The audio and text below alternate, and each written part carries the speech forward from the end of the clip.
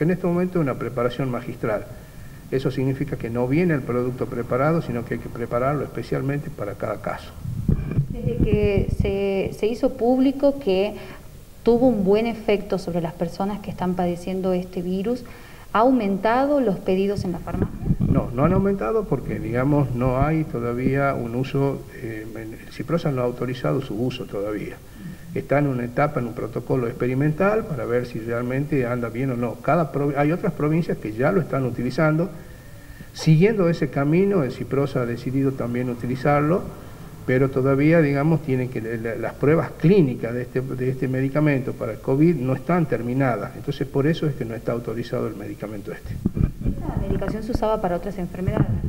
Ha sido estudiado en un principio y utilizado para otra enfermedad. En ese momento, digamos, se ha hecho la prueba para una fibrosis pulmonar y no se ha hecho para COVID porque no existía COVID en ese momento. Hace 7, 8 años no teníamos este, este problema, esta pandemia. Por eso es, digamos, que se ha hecho los estudios para lo otro y no para COVID. Entonces, ahora, como no tenemos estudios que avalen el uso de este producto para esta enfermedad, es que no está autorizado. Y tengo, bueno, cambiándolo de tema, ¿han sufrido incremento las medicaciones en este último tiempo? Sí, los precios de los medicamentos mes a mes, digamos, vienen acompañando lamentablemente la inflación. O sea, todos los meses las industrias farmacéuticas le pone su granito de arena a este fenómeno y aumenta los medicamentos. ¿Qué pasa con el paracetamol? ¿Se consigue?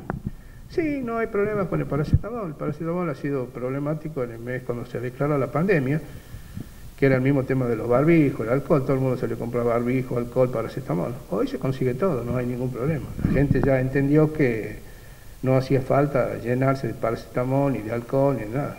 ¿Tiene un porcentaje de cuánto fue el incremento? No, ¿el incremento de qué? Y estamos en el orden del 35% en este año. ¿Se espera que la, la medicación vuelva a sufrir otro incremento?